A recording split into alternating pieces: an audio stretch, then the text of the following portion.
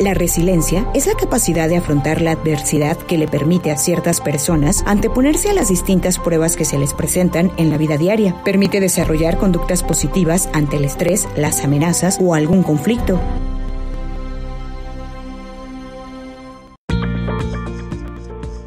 Muy buenos días. Ya estamos aquí en tu programa, siempre en tu vida, porque vivimos y sentimos como tú. Hoy estamos con Mónica Beatriz Ro Constante, tanatóloga y coach ontológico, especialista en acompañamiento en duelo y relación de ayuda. Eh, hoy vamos a hablar de la resiliencia, este tema que hemos tocado en ocasiones anteriores, pero que hoy vamos a aprender de raíz. ¿De qué se trata esto de la resiliencia? ¿Qué significa? Me ayuda, cómo puedo ser resiliente. Toda esa información con Mónica en esta hermosa y calurosa mañana, al menos acá en Veracruz, el calor está rico, ya se te salía, eh, con, con esta sudadita se te salen todas las, hasta las malas ideas se te salen, se te quedan las buenas nada más. Pues así estamos eh, en esta en esta mañana rica de calor, de estas fechas calurosas, ricas, Mónica, un placer tenerte aquí con nosotros. Muchas gracias, Bere. También es un placer, un gusto estar aquí con todas tus radioescuchas y, y dándome la oportunidad de compartir este tema tan, tan importante. Pues sí, Mónica, porque hemos escuchado eh, el término, pero todavía como que no logramos identificarnos. ¿Qué es la resiliencia? Mira, el término vamos a dejarlo a un ladito porque son palabras que se van poniendo de moda las personas las repiten, las repetimos una y otra vez, y yo creo que el, decirlas como que les va quitando un poquito el, sentido. Vamos pensando en, en la, idea, el concepto, con la cantidad de herramientas que tenemos para poder salir adelante de las situaciones que se nos presenten. Eh, cuando hablamos de herramientas, también son palabras que se han usado mucho y nos queda así como algo en la mente de, bueno, si yo tengo necesidad de clavar un clavo, uso un martillo, eso es una herramienta, ¿no?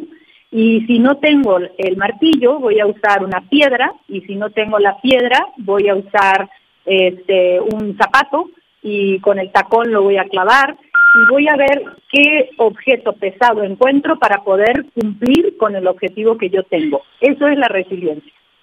El encontrar lo que tenemos a la mano para salir adelante de lo que sea que estamos viviendo y poder lograr el objetivo, el que sea. ¿Cuál es en este caso la mayoría de las veces?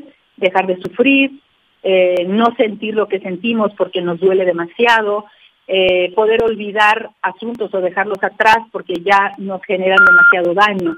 Entonces, para mí ese es el concepto, encontrar lo que sea que tenemos a la mano para conseguir lo que queremos conseguir en nosotros me quedó muy claro, me quedó más claro que nunca. ¿Cómo puedo yo resolverme con lo que tengo en el momento justo y necesario?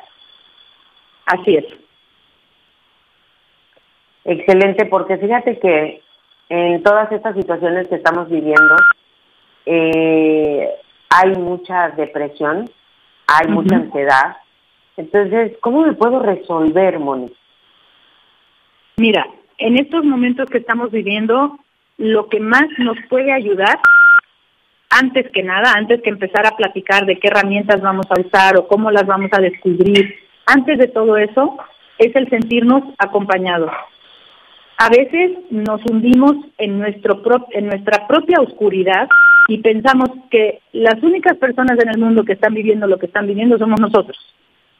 Y eso nos da una sensación de soledad terrible. Eh, si bien es cierto que mal de muchos, o sea, es un consuelo mm, de repente que no, no nos viene tan bien, lo vamos a voltear y vamos a ver que si sabemos que hay más personas que están viviendo lo mismo que nosotros, no nos vamos a sentir tan, tan fuera de contexto, tan fuera de por qué los demás están bien y yo no. O sea, eso es algo como muy humano. Nosotros necesitamos sentirnos acompañados en el proceso, en los procesos que vivamos, los que sean.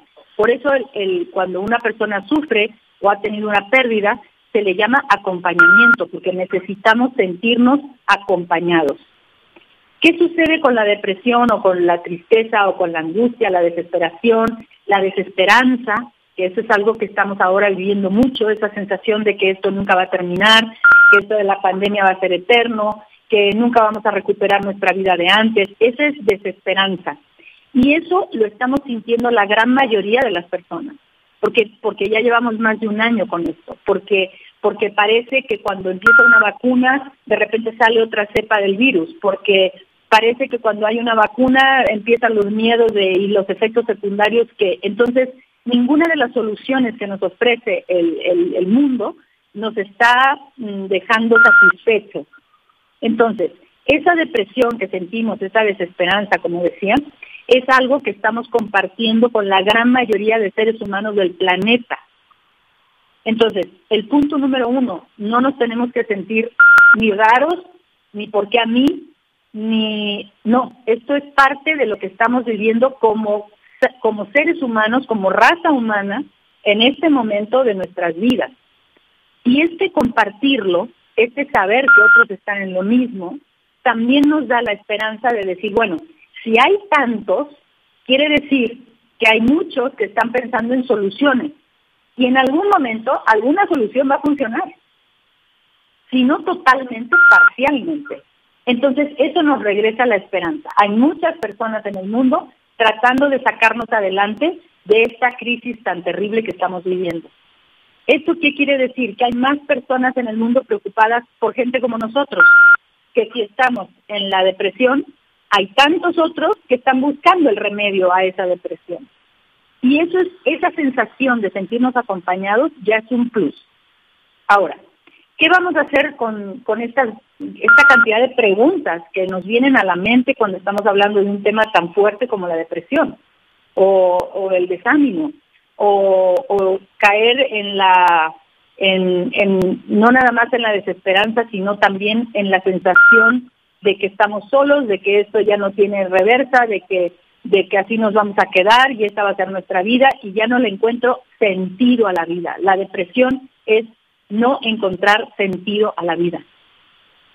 Y cuando hablaba de herramientas, que son las que tenemos que empezar a buscar, hablo de herramientas para lograr los objetivos que están en nosotros, no en el otro, ojo.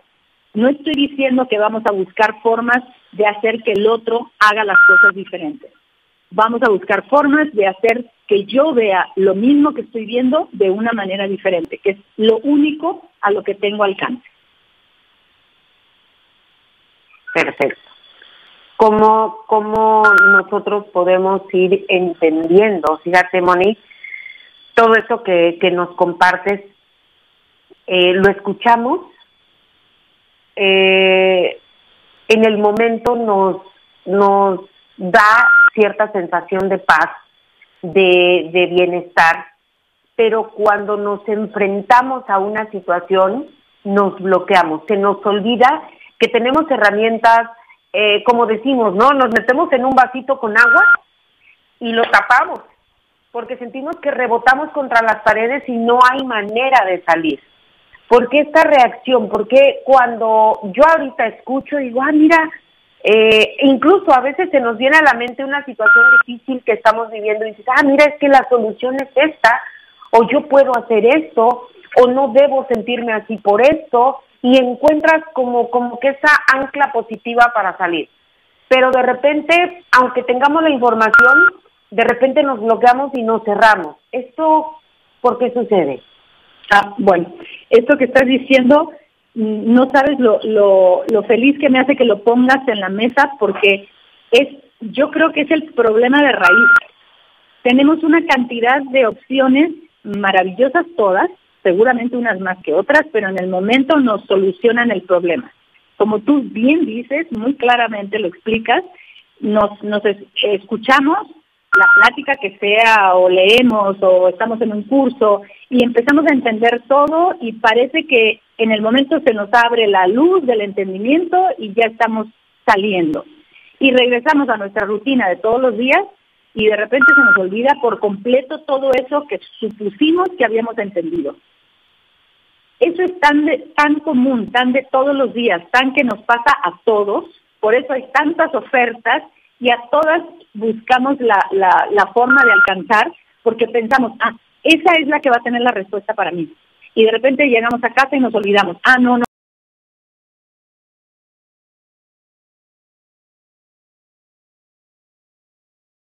pero ahora me dijeron de esto otro y esto seguramente me va a dar la solución. Ok. Este proceso, porque mm, solamente la raíz, yo te puedo decir que estando sumida en una situación así como la mencionas, lo único, lo único que a mí me ha funcionado y que lo comparto con ustedes, pero lo que a mí me ha funcionado es tener, eh, por ejemplo, en una libreta tengo puesta, es como si tuviera mi receta de rescate. Esa receta de rescate es qué hacer cuando me empiezo a sentir en crisis.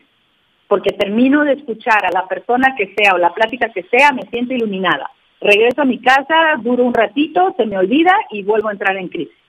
En ese momento agarro esa libretita donde he puesto todos mis, vamos a decir, los puntos que a mí me sirven para salir adelante de una crisis. Por ejemplo, me pongo respirar 10 veces. Cosas así, tan elementales como esa respirar profundamente 10 veces. Luego, otra, tomar un vaso de agua.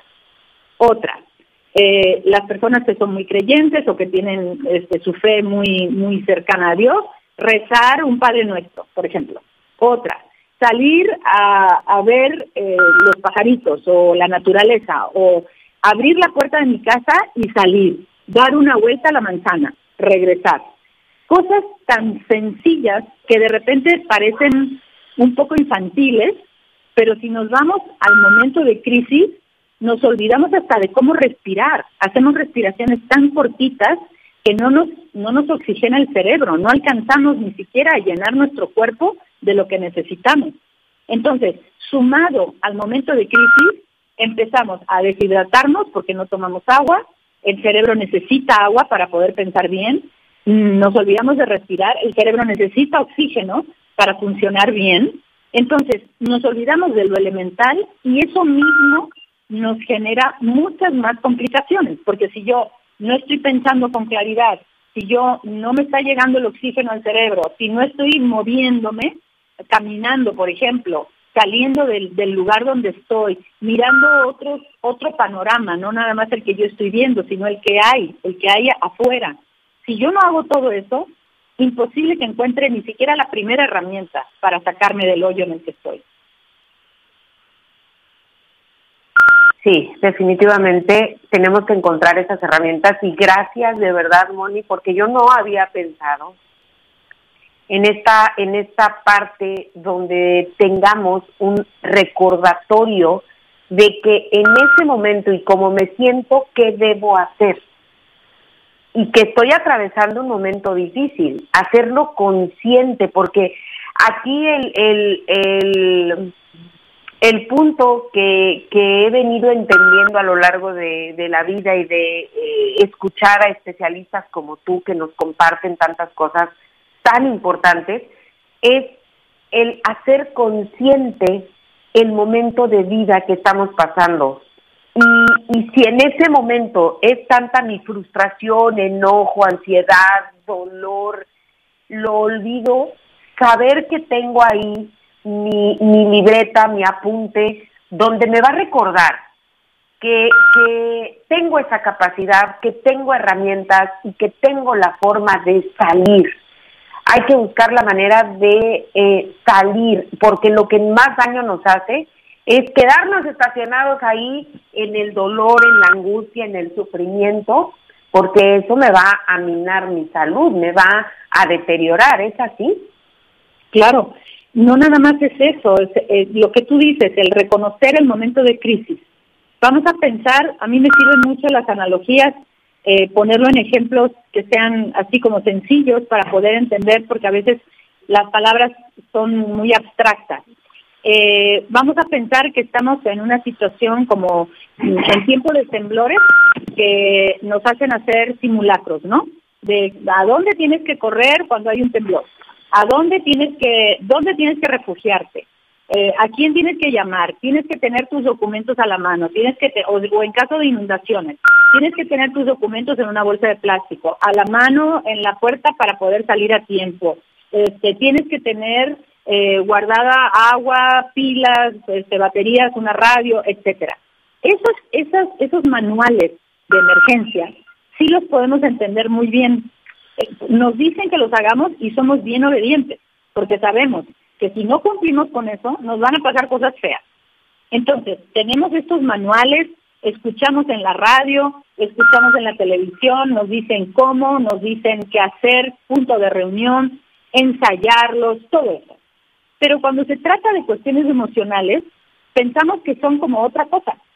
Sin embargo, es lo mismo. Es exactamente lo mismo. Si nosotros tratáramos esas crisis que podría ser una inundación, un terremoto, un desastre natural, lo que sea, si tratáramos esas crisis con la misma naturalidad que tratáramos nuestras crisis emocionales, sería otra cosa, pero pareciera que cuando son crisis emocionales nos da vergüenza, nos da como, ¿cómo no voy a poder salir de esto? O sea, todo el mundo sale, todo el mundo está crisis y, y todo el mundo lo supera, o sea, ¿cómo? Fíjense, nos demeritamos tanto o tenemos tan olvidada esa parte de las emociones, no les damos la importancia, sin embargo es lo que rige nuestras vidas. Si yo emocionalmente no estoy bien, aunque venga un terremoto no me voy a poder mover. Voy a estar bloqueada, no voy a querer salir porque no voy a querer cuidar mi vida, porque no voy a tener sentido de para qué la estoy cuidando. Esa, entonces, ese manual tan fácil de seguir, cuando tenemos un desastre natural, tenemos igual que tenerlo para cuando tenemos un desastre emocional, exactamente igual. ¿Y qué hacemos cuando hay eh, un desastre natural? Siempre hay personas que reaccionan mejor que otras ante, ante un momento de emergencia. Y siempre decimos, ah, bueno, este, mi hijo o mi amiga o mi vecina o mi mamá o el que sea, eh, eh, va a estar ahí y seguramente si yo me pongo nerviosa, me va a ayudar y me, va a sacar de la casa. Y fíjate, Moni, perdón, con esto nos tenemos que ir a un corte comercial. Regresamos en unos minutos. Envíenos sus preguntas, comentarios al 782 128 0804. Nos vamos a un corte comercial y regresamos. Una persona resiliente tiene la capacidad de adaptarse positivamente a las situaciones adversas, por ejemplo, el duelo por la muerte de un ser querido, un despido de trabajo inesperado, el desamor, un periodo de soledad o el sufrimiento.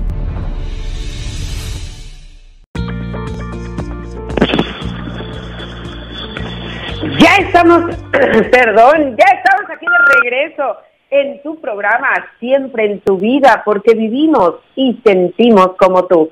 Estamos con el tema de la resiliencia, nos fuimos a un corte comercial con mucha información, estamos aquí con Mónica, eh, ella es anatóloga y con estos tips que nos está dando para, para poder aprender, salir adelante, toda esta información de verdad que es muy, muy importante porque cuando tenemos una salud emocional, de verdad que tenemos una salud plena cuando nosotros tenemos una salud emocional, podemos nosotros sentir ese bienestar y tener esa tranquilidad que podemos transmitirle a nuestro cuerpo, a nuestro cerebro.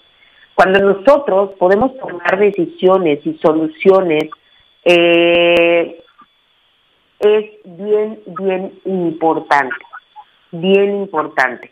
Entonces, eh, yo te cedo el micrófono, Mónica, para que, para que continuemos con el tema de la resiliencia. Gracias, Pérez. Mira, eh, ahora en el corte estaba tratando de hilar una cosa con otra para que para que nos pueda quedar como un caminito, un caminito fácil de seguir, como estos pasos a seguir. Vamos vamos a retomar donde dejamos que siempre hay personas que responden mejor a las emergencias que, que otras por diferentes circunstancias, por carácter, por experiencias de vida, por conciencia en el aprendizaje, eh, no sé, por, por muchas otras razones. Pero siempre hay gente que sí puede guiarnos un poco mejor o con más claridad a la hora de una crisis. Si estamos, si seguimos con los ejemplos de los de las crisis de desastres naturales, etcétera, o de lo que estamos viviendo ahora con la pandemia y todo eso, Entendemos que hay personas que nos pueden echar la mano, no nada más porque si es que viven con nosotros o no, porque podemos vivir acompañados o vivir solos, pero siempre hay alguien que nos va a dar una llamadita o que nos va a dar un consejo si nos lo encontramos afuera mientras vamos a comprar algo. Y esas personas dejan como una lucecita de esperanza, ¿no? Y de ahí nos agarramos. Estas lucecitas de esperanza, vamos a decir, que nos sirven y que nos recuerdan lo que sí tenemos que hacer, esas son las que vamos a registrar en nuestras libretas. Y cuando hablo de libretas, puede ser una libreta, puede ser eh, el que tenga buena memoria de su propia cabeza, aunque yo en la mía no confío tanto, por eso es que recomiendo siempre dejarlo todo bien escrito, o en un papelito que tenga puesto en el espejo desde el baño, en algún lugar donde esté presente todas estas medidas a seguir, estos pasos a seguir para que podamos eh, aferrarnos a eso en el momento en que estamos perdidos. Esta luz de esperanza, vamos a decir, y estos pasos que, vamos a ir viendo tan fáciles, como decías tú, la salud emocional y la salud física, eh, la de respirar bien, tomar un vaso de agua, salir a caminar, dar una vuelta a la manzana, etcétera. Esos, esos pasos los vamos a ir, vamos a decir, coleccionando. Van a ser esos, más los que vayamos descubriendo cuando nosotros mismos nos damos cuenta de que ayer estaba yo muy mal y fíjate que hoy estoy mejor. Algo hice que me hizo que viera las cosas distintas. Algo pasó. Esa conciencia, ese tener el recuento de lo que sucedió para que nosotros nos, podamos sentir mejor, es lo que nos va a dar, eh, esa es la resiliencia, darnos cuenta que esa es la herramienta que hemos aprendido a usar o que hemos descubierto y esa es la que vamos a registrar en nuestra libreta. Entonces, si vino el vecino y me dijo algo que me hizo sentir mejor, que me dijo, ¿por qué no te tomas un pesito de tila? Y a mí no se me había ocurrido, porque en la oscuridad uno no ve y no sabe qué hacer. Entonces me hice el pesito de tila y me sentí mejor.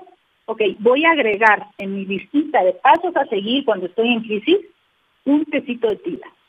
Cosas tan sencillas como esas. ¿Por qué? Porque a lo más sencillo es a lo que vamos a recurrir. Cuando nos sentimos en crisis, difícilmente tenemos claridad para poder pensar en cosas muy complicadas. Más bien nos cerramos, nos, apagamos, nos guardamos en un rincón. Estos pasitos tan simples nos van a ir sacando de la desesperación y vamos a poder entonces mirar con un poquito más de claridad la situación que estamos viviendo. No sé cómo te suene eso, Bere. Excelente, Moni. Fíjate que, perdón, perdón, pero ando, ando todavía un poquillo malilla de la garganta. Este, fíjate que eh, incluso ahorita que dije ando un poco mal de la garganta, como la tensión eh, de la preocupación de todo esto te lleva a, cosas como estas, ¿no? De, estás bien, te sientes bien, pero tu cuerpo va reaccionando. Y, fíjate que este tip de, del té que me puedo tomar o que me ayudó en ese momento de crisis es excelente, Moni. Fíjate que a veces pensamos que el salir adelante de una crisis emocional es algo terriblemente complicado. Ok, sí lo es, pero si lo tratamos como si fuera algo más sencillo, si le vamos dando un, un, eh, un marco de, facilidad, o sea, si le vamos dando un marco de si sigo estas, esta receta, paso uno, paso dos, paso tres, me voy a sentir mejor. Y ya después de que me sienta mejor, sí puedo estar tratando de solucionar mi situación o ver cómo, cómo resuelvo lo que se me está presentando o sentirme con un poco más de ánimo para ya no, no dejar que la tristeza me invada, en fin. Pero esos son los pasos a seguir como de cajón, como cuando nos dicen, eh, es hora de irse a dormir y tenemos nuestra rutina de irnos a dormir y nos lavamos los dientes y vamos al baño nos ponemos la pijama y ya, o nos bañamos o lo que sea, lo que cada quien haga. Pero si hay una rutina, tenemos que incorporar ese tipo de rutina también a nuestra vida, cómo salir de cuando estamos en un momento de crisis. Y otra cosa, el reconocer cuando estamos en un momento de crisis, como tú lo comentabas. El reconocerlo nos tiene que decir, hay personas que no se dan cuenta, que cada que se van apagando poco a poquito y de repente un buen día están en un rinconcito y no se quieren mover. Esas esas personas que no se dan tanta cuenta seguramente va a haber alguien alrededor que les, que les haga reconocer que no está actuando como siempre actuaba, o no está respondiendo como antes respondía, o no está viviendo la vida de la misma forma. Por eso es tan importante que todos estemos conectados, porque nos tenemos que ayudar unos a otros. Si yo no me doy cuenta que estoy en crisis, no voy a poder seguir los pasos, ni voy a poder sacar mis herramientas para usarlas. Entonces, el que está al lado, que sí se da cuenta que es más fácil ver en el otro lo que uno no ve en uno mismo, ese me va a venir a decir, oye, me preocupa, hace tiempo que no te ríes, o me preocupas porque hace tiempo que no platicas, o hace tiempo que te veo muy cansado, o, o no te veo con el mismo ánimo de siempre. Esas personas que están alrededor van a ser luego a las que nosotros vamos a ayudar porque ellos van a caer en crisis también. Por eso, esta sensación de, estar viviendo esto en comunidad, no en soledad, nos da la esperanza de que alguien más nos va a echar la mano, no necesariamente para sacarnos del pozo, sino para decirnos, ojo, te veo que estás en el pozo, sigue tu, tu librito, porque para cada quien esa librecita es especial. No todos respondemos a los mismos estímulos, no todos respondemos a las mismas eh, a los mismos pasos a seguir. Cada quien tiene que ir descubriendo los propios. Así es, cada quien tiene los propios. Esto no es una receta eh, general, esto no es algo que nos vaya a funcionar. Lo que me funcionó a mí puede no funcionarte a ti. Entonces, eh, esa es otra parte, eh, Moni decía, Hugo Aupar, un terapeuta, decía, de repente tenemos que acallar un poco al metiche que llevamos dentro, ¿no? De que queremos ayudar al familiar, al amigo, eh, pero no nada más eh, hasta el punto donde, oye, eh, te veo así, sino hasta le queremos dar las mismas recomendaciones de lo que a mí me hizo bien. Cuando somos personas diferentes, somos personas que sienten diferente, viven diferente, enfrentan las situaciones de manera diferente, y lo que te sirve a ti puede no servirme a mí o viceversa. Eh, a mí yo lo he comentado y lo comenté en programas anteriores, incluso cuando tú y yo tuvimos nuestra primer plática. Eh, con el fallecimiento de mi padre, que ya este 2 de mayo, hace un año, y es impresionante el tiempo cómo se va, hace un año.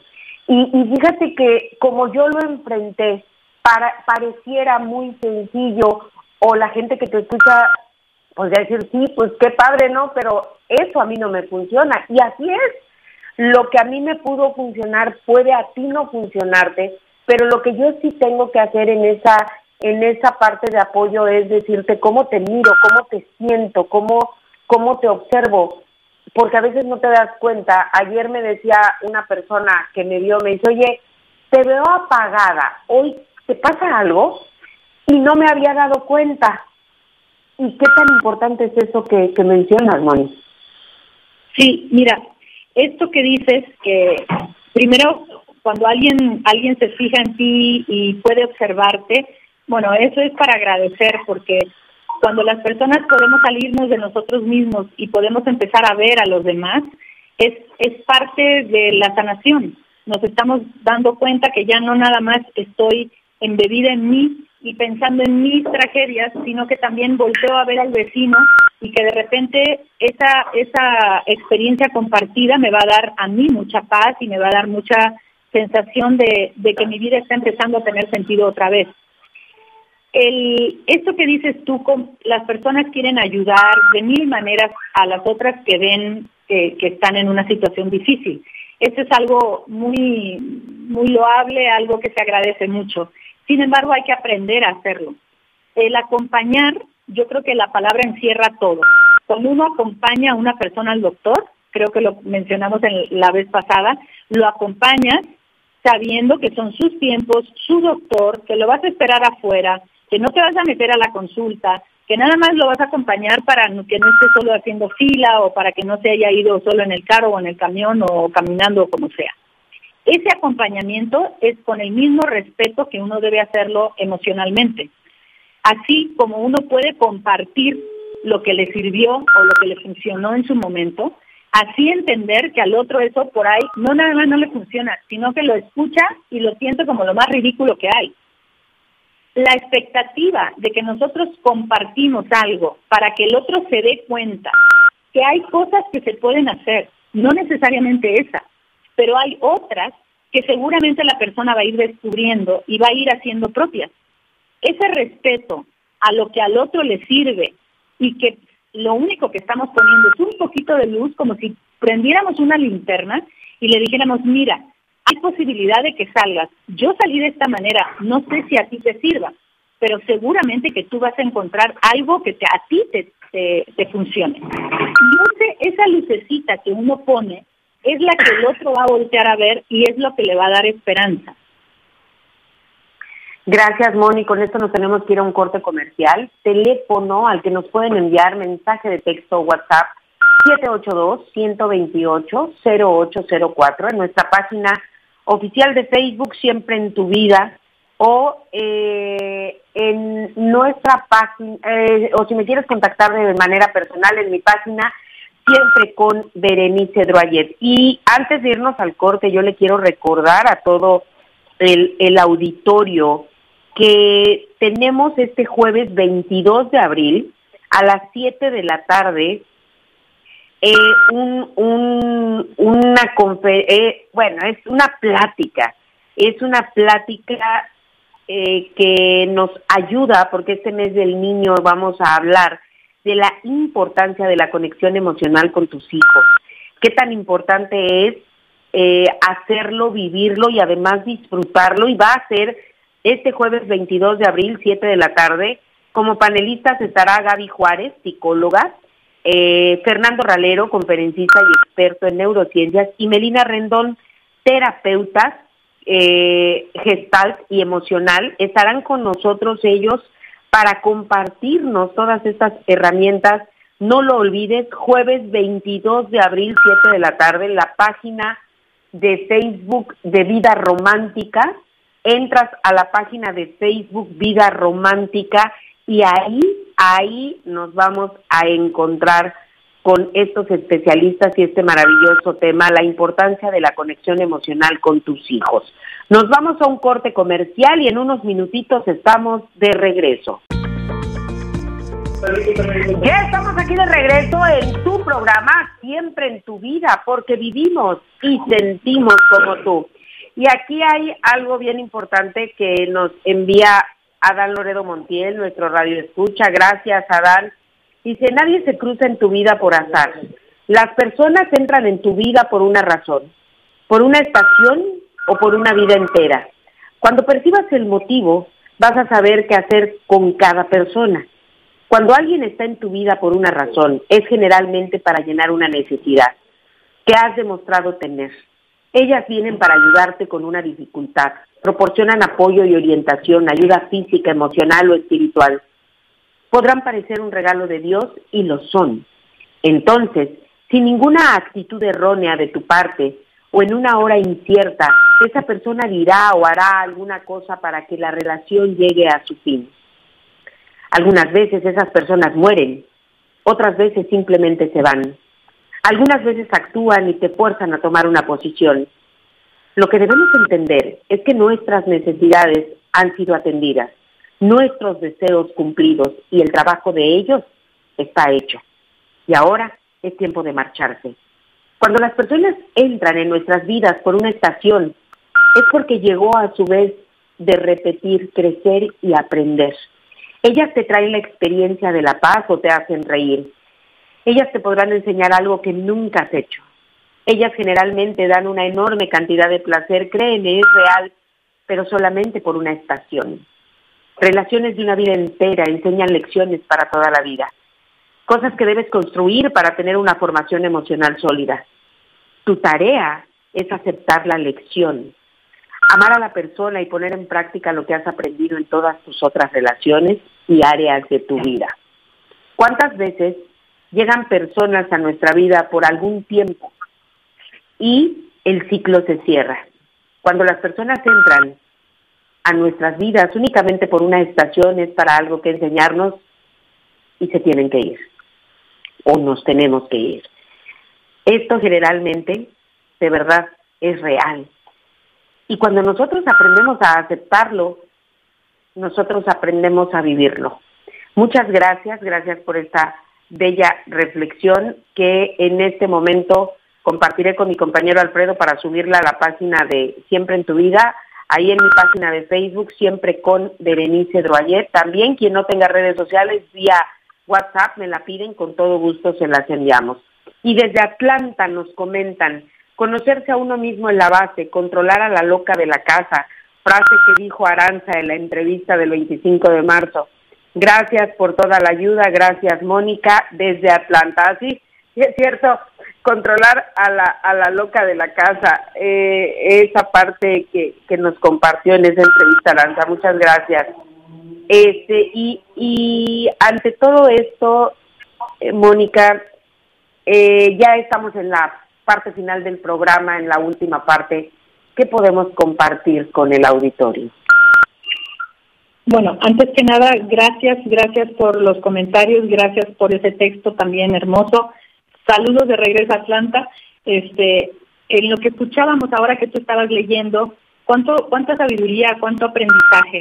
Ese recuento, ese reconocer lo que nosotros tenemos en nuestro haber, que, que hemos, hemos ido cosechando a lo largo de nuestra vida, estas, estas maravillosas ganancias, este aprendizaje, como por ejemplo el darse cuenta que son personas valientes, que tienen una fortaleza interna grande, que tienen una gran fe, que tienen fuerza de vivir, que a pesar de las circunstancias ven la vida positiva, que tienen fuerza de voluntad, creatividad.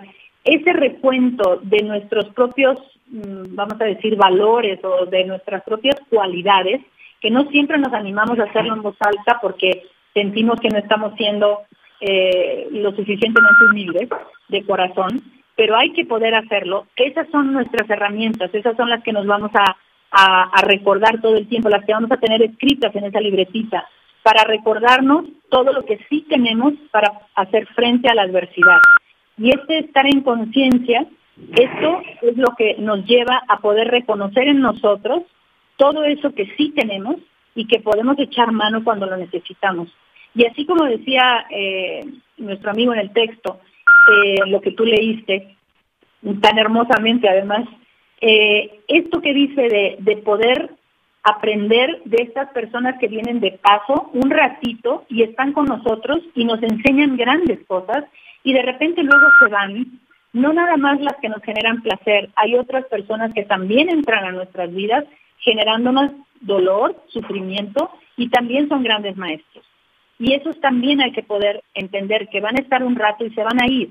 Y ese aprendizaje, mientras lo tengamos registrado, entonces vamos a hacer buen uso y ya la siguiente vez, en lugar de partir desde el punto cero, vamos a partir desde el punto tres o desde el punto cinco. Y ya no vamos a tener que vivir esa primera parte que ya aprendimos, ya superamos y ahora es de ahí hacia adelante. Esa es la sabiduría del ser humano. Por eso dicen que las personas cuanto más viejas se hacen, más sabias son. No necesariamente, porque si no tenemos registradas esas lecciones de vida, siempre vamos a empezar desde el paso uno. Y eso nos, nos, nos quita la posibilidad de seguir evolucionando y de seguir creciendo. Entonces, todos los aprendizajes, registrarlos bien, aprenderlos bien, tenerlos muy presentes para que la siguiente vez que la vida nos ponga una situación difícil, empecemos de ahí hacia adelante y no perdamos ese tiempo que con tanto sacrificio y con tanto dolor hemos ganado. Entonces vamos manteniéndolo, sosteniéndolo y de ahí para adelante. Muchas gracias y un, un saludo al señor Raúl Aparicio y a toda su familia que nos están escuchando desde Salinas, California. Están ellos a siete horas de Los Ángeles. Ahí un saludo a todos que, que nos escuchan allá. Gracias, señor Raúl, y a toda su familia. Muchas, muchas gracias por sintonizarnos. Gracias. Y eh, recordándoles que este, que este jueves eh, aquí tengo eh, para no cometer errores en fechas, porque de repente, jueves 22 de abril, 7 de la tarde, Jueves 22 de abril, 7 de la tarde, entran a la página de Vida Romántica en Facebook y ahí van a poder entrar a la conferencia de Gaby Juárez eh, psicóloga y terapeuta, Fernando Ralero, conferencista y experto en neurociencias, y Melina Rendón, terapeuta gestal y emocional. Ellos estarán ahí el jueves 22 de abril, 7 en punto de la tarde, para compartir este tema que les voy a eh, mencionar en este momento, que es la importancia de la conexión emocional con tus hijos. Esto será jueves 22 de abril. Únicamente entran a la página de Vida Romántica y van a poder accesar. Así de sencillito. Anótenlo ahí en su agenda jueves 22 de abril, 7 de la tarde. Y en consecuencia, fíjense que eh, a, raíz de todo esto que, que está pasando, hay una caja de las emociones. Es un taller que, vamos a trabajar para personas que estén a cargo de niños, jóvenes, adolescentes. Eh, este taller lo voy a impartir el domingo 25 de abril. Va a ser en línea y presencial, domingo 25 de abril. Es un taller que voy a impartir eh, que va exactamente dirigido a el manejo de las emociones, cómo enseñar a los niños al manejo de sus emociones, porque aquí lo importante y lo que hemos venido escuchando es no quedarnos enganchados en el, en el enojo, en el miedo, en la frustración, en el extrañar, en el sentir. Si te quedas ahí estacionado, no vas a poder evolucionar ni salir adelante. Entonces, aquí lo interesante es cómo nosotros, cómo podemos enseñar a nuestros hijos y con esta herramienta de la caja de las emociones, que está fantástica, de verdad, vamos a aprenderlo mucho. Esto es una, un taller que voy a impartir domingo 25 de abril eh, y va todo de la mano con esta parte tan interesante eh, que son nuestros niños, cómo nosotros trabajando en este presente vamos a tener tranquilidad en el futuro. Los niños crecen, los adolescentes crecen, se vuelven adultos. Y si no los ayudamos en esta etapa tan importante de su vida, ¿qué creen que va a pasar con la adultez de estos pequeños? Veámonos a nosotros. ¿Qué ha pasado con nuestra adultez? ¿Hasta dónde podemos manejar las emociones? Y a qué edad lo tenemos que aprender a hacer cuando hoy nosotros podemos enseñar a los niños. La verdad que, eh, que nos estás compartiendo en esta mañana. Moni, si me escuchas? Por un ratito se perdió la señal, sí, un poquito la señal. No, no, no, al contrario, muchas gracias, ya estamos para despedirnos. ¿Cuál es el mensaje que le dejas a nuestro auditorio?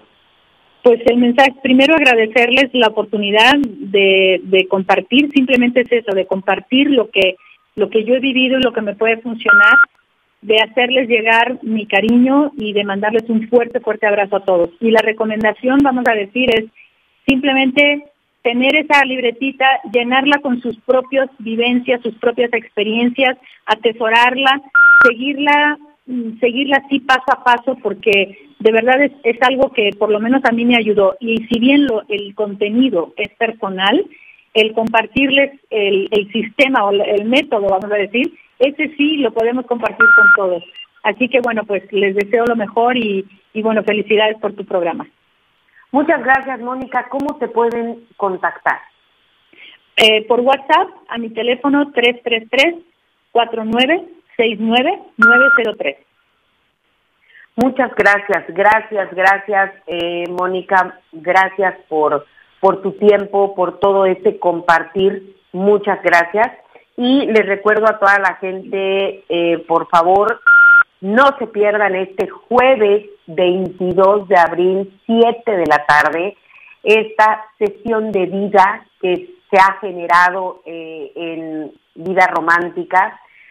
Entran a la página de Facebook de Vida Romántica, ahí van a poder accesar totalmente gratis van a poder accesar a esta sesión de vida que será el jueves 22 de abril, 7 de la tarde.